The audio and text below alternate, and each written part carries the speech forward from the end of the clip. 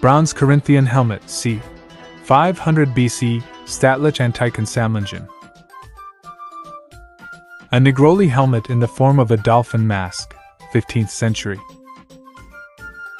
Samurai demon head shaped helmet with hair, 17th century. Helmet embossed in the form of a conch shell, a Wabi Ukadashi Kabuto, Japan, 1618.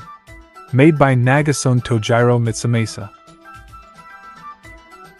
Decorative helmet of George Castrioti Skanderbeg, circa 1460.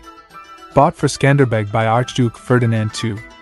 Unknown artist, of Italian manufacture, possibly from Urbino. Celtic, Gallic, parade helmet, 350 BC. German Pickelhaube. Ottoman Zischägge helmet, mid 16th century.